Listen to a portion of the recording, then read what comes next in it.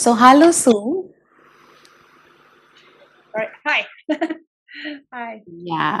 Very nice to be here. same here, Sue.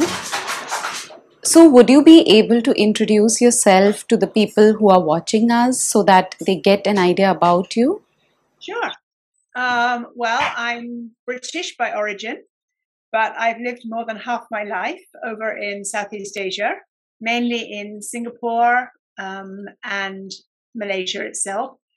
And now I'm in Borneo, East Malaysia, and I've been here for more than 20 years. Previously, I was the, I'm a speech therapist by training, um, qualified and licensed from the UK. Back in 2001, I was introduced to educational kinesiology and I became a brain gym instructor in 2005. And I've done many, many, many brain gym courses and affiliated courses.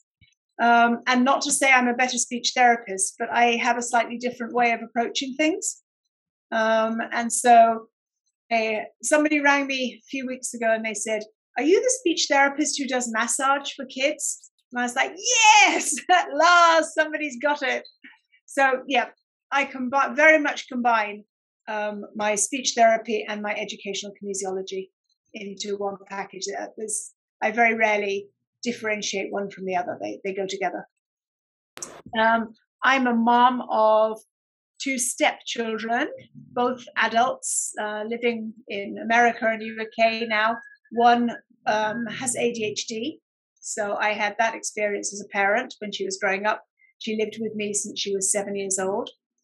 Um, and I have five adopted children, um, all of whom have some kind of challenges. Uh, the whole range. Um, my youngest daughter has cerebral palsy. I have a son who's nonverbal. Uh, I have two of my boys are severely dyslexic. My daughter is a slow learner due to abuse in her early years. Um, three of them have ADHD in varying degrees. One of them has um, motor dyspraxia. I mean, we have everything in my house. So when I talk to parents, I am able to talk to them from as a parent as well as just a therapist, because I'm very aware that from my own experience, it's very easy to for therapists to sit there and uh, tell parents what they have to do once they get home, and it should be like this, it should be like that.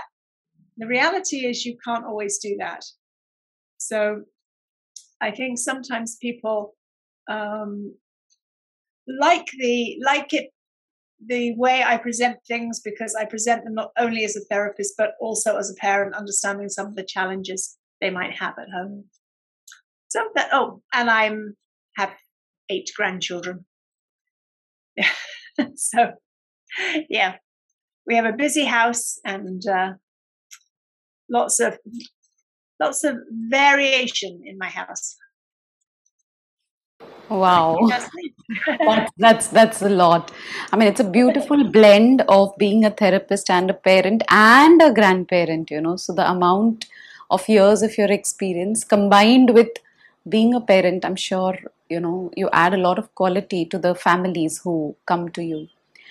So, so I had a question. I see a lot of kids who have who are in the spectrum of autism, and a lot of them have echolalia. What is echolalia?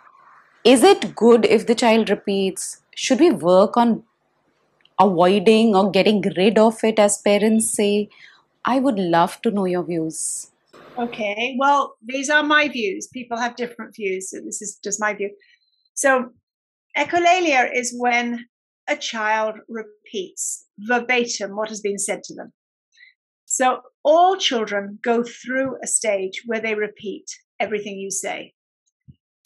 But around 18 months, two years of age, children who are developing their language regularly, normally, will uh, begin to experiment. They'll begin to put together words and create their own sentences and their own utterances. Children who have echolalia get stuck at that point where they just repeat exactly what you say. So when we think about things that are not going quite as we expect in speech development, we divide we divide the challenge into either a disorder or a delay. And people always think think of dis, of echolalia as a disorder. There's something is wrong. It's actually a natural part, a normal part of development. So I would think of it more as a delay. The children have got stuck at this level and they haven't moved on. It's not, if it happens later, if you know they're developing language okay and then they get stuck it's not that would also be of concern. We all children have something that we call normal non-fluency around four or four and a half where their mind is working faster than their their mouth. Can i can i interrupt? Yeah. what fluency did you say? What fluency was that? Not normal non-fluency. You see it sometimes written NNF. And it's when they they have so much they want to say, but the muscles are of their mouths are not coordinated enough yet to allow them to say it. And they will uh, uh, uh, uh, uh this is completely different. Okay. Um, it's not they might repeat what you have said to give themselves more time to formulate their response. But this is not echolalia. Echolalia, one of the defining characteristics of echolalia is that it appears to have no purpose. So, for that reason, people tend to think that it's something we have to be very concerned about and we have to get rid of. In fact, the way I see it, it can have quite a lot of purpose. So it ticks the boxes for a lot of pre language skills. It shows us that the child can imitate, it shows us that he can listen, it shows us that he can sequence, it shows us that he, um, it, usually with echolalia, the child will also imitate the intonation patterns that it shows us that he has a range of intonation. He may not yet know how to use it properly, but he has those skills. So that's a positive. It can um, be a starting point for therapy or for parents to start to connect with the child because there are two types of echolalia. One is what we call uh, immediate echolalia. We ask a question, the child repeats it. Then we have delayed echolalia, where several hours after watching a TV program, the child starts speaking little phrases, repeating things from the program. So if a child is using delayed echolalia, it gives us some insight into what they're interested in, what caught their attention. I had a student who came to me a few years ago now, and he was only interested in trains. That was the only thing he was interested in. Um, and at home, they didn't have any trains. They had no trains for him to play with. But he watched a lot of TV. And when he came to me, he was didn't have anything to say, or he didn't say anything, I should say. He didn't say anything um, except to repeat little phrases from TV programs about trains. So I was able to take that as an indication that trains interested him. And we set up a train track and we um, had all sorts of games, color games about trains, matching games, everything was about trains. And he was so happy to have somebody interested in what he was interested in. And his language soon developed. And of course, we had to move on from trains over time. But echolalia can give us a starting point to understand where our child, what our child's interested in, how we could get in there. Another reason, um, another good thing about echolalia is that autistic children learn language in a different way to um, to regular children who are developing typically, and instead of learning individual words and then experimenting and putting them together, children on the spectrum tend to learn chunks of words. And we need to help them to learn the meaning of those individual words so that they can start playing around with them and using them. So they they tend to learn their, their language completely differently. So when they are repeating things, it's actually an, a stage in their language development. So we shouldn't discourage it. We should work with it and use what the child is saying to um, to teach him the meaning of those individual words.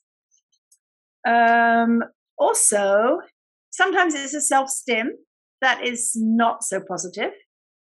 Um, but again, there is a reason why children stim.